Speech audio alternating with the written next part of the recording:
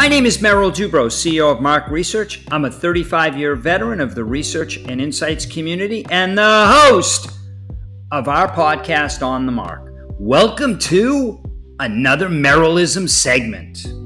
I'm really excited today, and, and who knows, you may even sense it in my voice because later today I fly to Florida and actually have dinner with my mom and cousins. Can't be any more excited than that. Today's Merrillism is a no gets you that much closer to a yes. Like most of my Merrillisms, I have to start with a story. Way, way, way back when I first started in the insights industry, yes, when dinosaurs were roaming, stop laughing, it's true, I was an interviewer. I started actually as a phone interviewer. I recall one of my first days on the job being in the phone room, packed in like sardines. They didn't even have headphones they weren't even invented yet. Proof, again, that I'm very old. I remember getting a list of people to call, and back then it was on paper. Some of my fellow interviewers would also look at the list and say, Well, I can't call California, it's too early. I can't call Sally. My last girlfriend's name was Sally, and frankly, it didn't end well. Left a bad taste in my mouth.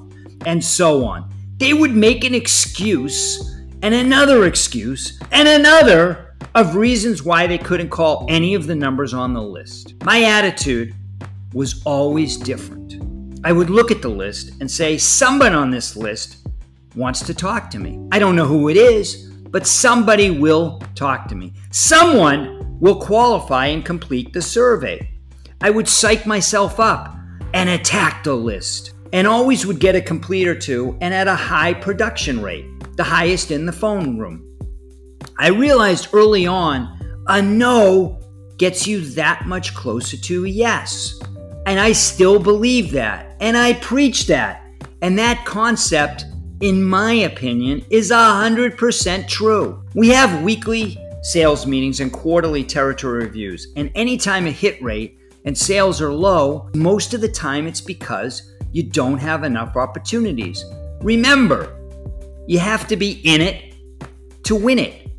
I actually like that. Who knows? Maybe another Merrillism down the road. If you're not having success dialing for dollars, keep going. It is a numbers game. Someone does and will speak to you. It's very easy to toss in the towel, make up excuses on what not to move forward, attack a prospect list, go after inactive clients, expand current clients, I say. Go for it. Make things happen, move the business forward, and get a sale. Earn a commission, and who knows, maybe even a bonus. And always remember a no will get you closer to a yes. Now give it a little thought to what I'm saying and go make something happen today.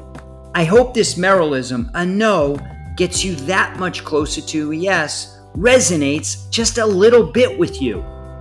Thanks for listening to the On the MARC podcast. I hope you have a great day and this strategy helps you exceed all of your professional goals. I look forward to hearing your thoughts. My name is Merrill Dubrow. Stay well and be safe.